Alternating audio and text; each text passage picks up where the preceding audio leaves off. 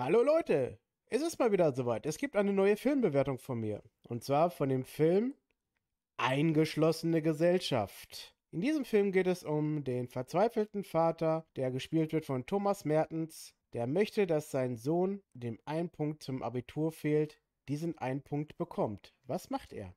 Er geht ins Lehrerzimmer mit einer Waffe und bedroht die Lehrer, die jetzt und sofort eine Konferenz abhalten sollen, dass dieser Junge diesen einen Punkt bekommt. Aber der Lehrer Klaus Engelhardt, gespielt von Justus Donani, weigert sich auf jeden Fall, ihm diesen Punkt zu geben. Aber davon möchte der Vater nichts hören. Es wird jetzt hier und jetzt diese Konferenz abgehalten. Ihr habt eine Stunde Zeit und er verzieht sich auch in einen Nebenraum, damit sie ungestört diese Konferenz abhalten können. Ja, die weiteren Schauspieler sind Florian David Fitz, der den Sportlehrer Peter Mertens darstellt, Anke Engelke als wirklich mega böse alte Lehrerin Heidi Lohmann. Boah, also bei der möchte kein Mensch Unterricht haben. Dann Nilam Farouk als Referendarin Sarah Schuster. Tobias Leubel, der gutmütige Holger Arndt und Torben Kessler, der Physiklehrer Bernd Vogel. Die stellen jetzt alle ein paar Tische zusammen und machen eine Konferenz. Aber irgendwie wird über vieles geredet, aber eigentlich weniger um den einen Punkt, was mehr und mehr sich da herauskristallisiert. Dieser Film lebt von Dialogen. Vergesst Spezialeffekte, vergesst CGI oder so, das werdet ihr alles in diesem Film nicht haben.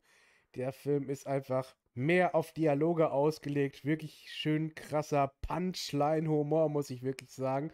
Und Anke Engelke und Justas von Donani, die spielen wirklich Lehrer wirklich so oldschool, wirklich so alt und auch so, ähm, es muss alles so bleiben, wie es ist und es darf auch kein Millimeter abgerückt werden vom Feinsten.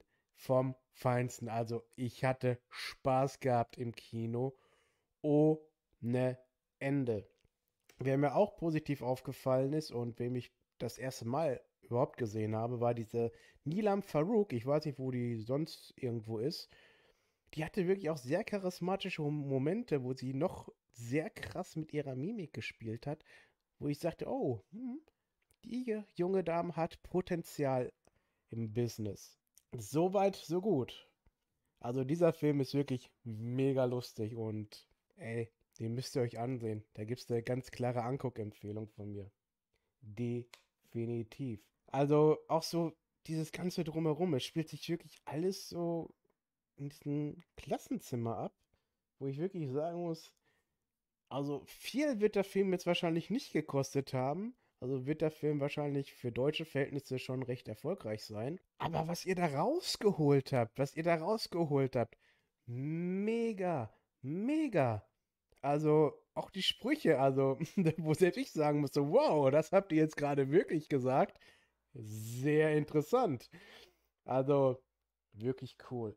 Von daher, ich habe auch nichts Negatives gefunden, ich muss sagen. Also klar ist das, ähm, man muss solche Filme mögen einfach, wo es nur auf Dialoge ankommt, wo es dann auch so ein bisschen mehr um die Charaktere geht und so, wo die Story ja wirklich ruhig ein bisschen einfacher sein darf. Also das muss man halt mögen. Aber wenn man das mag und auch den Humor mag, diesen richtigen Punchline-Humor, dann muss man natürlich auch ganz klar sagen, muss man den Film so wie er ist, weil für das, was er ist, ist er wirklich super, die volle Punktzahl geben. Ey, ich habe da echt Spaß gehabt ohne Ende.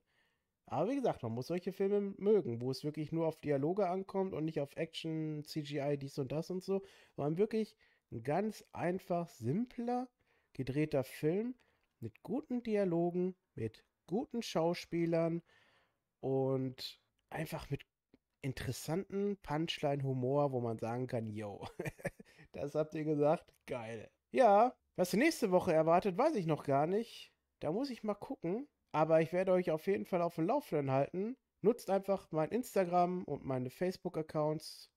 Da werdet ihr immer auf dem Laufenden gehalten. Und dann würde ich sagen, ich wünsche euch noch schöne Ostern. Der Osterhase hat es euch ermöglicht, dass ihr dieses Video schon am Ostersonntag in eurem Osternest habt.